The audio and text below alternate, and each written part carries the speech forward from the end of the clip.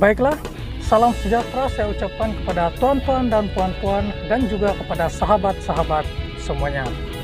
Saya ingin mengucapkan ribuan terima kasih kepada anda semua yang sudah meluangkan masa untuk singgah dan menonton video di channel ini. Saya amat menghargai sokongan anda semua. Baiklah, tanpa membuang masa, mari kita tonton atau dengar perkongsian pada kali ini. Semalam sementara menunggu waktu berbuka, saya sempatlah tengok Twitter dan saya agak terkejut apabila saya tengok ramai penyokong-penyokong kerajaan Anwar Zahid buat kenyataan kurang bijak dan buat lawak bodoh apabila mereka mengaitkan kesesakan di bazar-bazar Ramadan dengan pengeluaran KWSP bersasar. Mereka kata bazar Ramadan ramai orang itu maksudnya tidak wujud golongan rakyat yang tercicir yang terdesak memerlukan pengeluaran KWSP bersasar. Mereka kata ini semua imajinasi pembangkang. Saya nak sekolahkanlah penyokong kerajaan Anwar Zahid ni. First of all, perjuangan pengeluaran KWSP bersasar ini bukan dimulakan oleh pembangkang. Ianya dimulakan oleh rakyat yang tercicir, yang terdesak.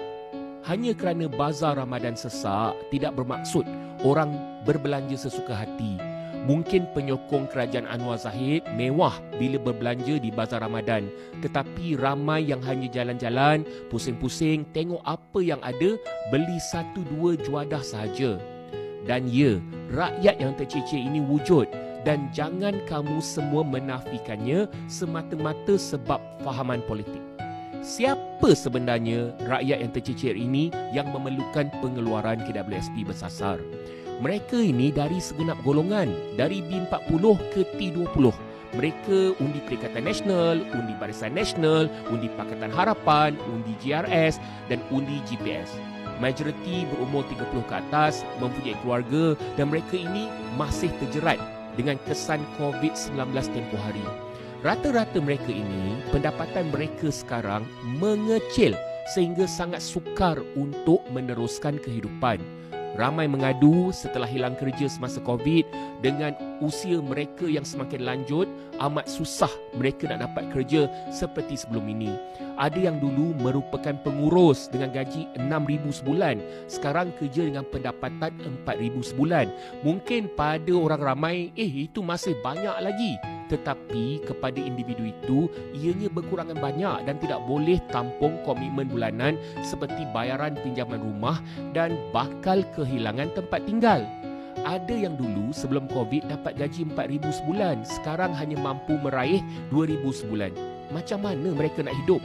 Ada antara mereka ni dulu keluarga ayah dan ibu dua-dua bekerja, tetapi sekarang hanya seorang saja yang bekerja ada yang kena long covid dan sukar untuk bekerja sepenuh masa dan macam-macam lagi.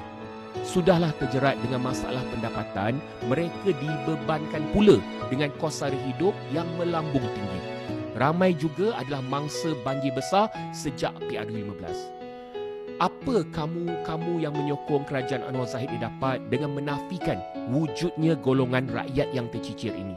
Kamu tahu tak, jika kerajaan tak selesaikan masalah rakyat yang tercicir ini, ianya akan menyebabkan satu krisis besar kepada negara. Kalau kamu bukan dari golongan rakyat yang tercicir, kamu bersyukurlah tak perlu menghina rakyat yang tercicir ini. Dan kalau kamu betul-betul menyokong kerajaan Anwar Zahid, saya nasihatkan kamu semua pergi beritahu pemimpin kamu untuk cepat-cepat tengok perkara ini dengan serius. Ada satu perkara yang kamu semua kena ingat rakyat yang lapar ialah rakyat yang marah.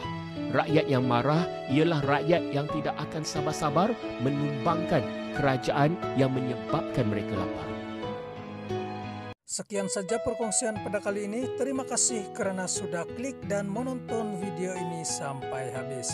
Kepada yang baru di channel ini, jangan lupa untuk tinggalkan like, share, dan subscribe. Bye-bye.